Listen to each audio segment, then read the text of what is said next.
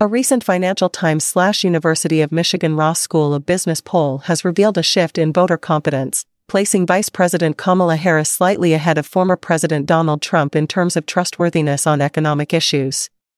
This poll indicates a significant turnaround in Democratic fortunes since Joe Biden stepped back from the 2024 campaign, with Harris now leading the charge. Despite Trump's consistent approval ratings on economic management, Harris has now gained a narrow lead with a 42% approval rate among registered voters, a notable improvement over Biden's previous performance.